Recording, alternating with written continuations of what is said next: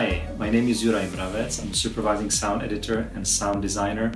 Over the recent years, I've had the opportunity to work on some pretty amazing projects such as The Crown, uh, The Imitation Game, Peaky Blinders, uh, Game of Thrones, Black Sails, and Strike Back.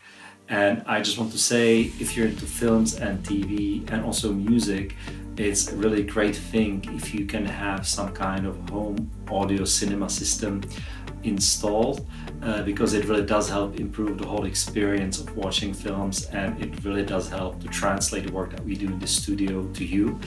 Uh, also, I want to thank Atif at Zebra Home Cinema for hosting my Q&A blog, which is now available online. Thank you for joining me.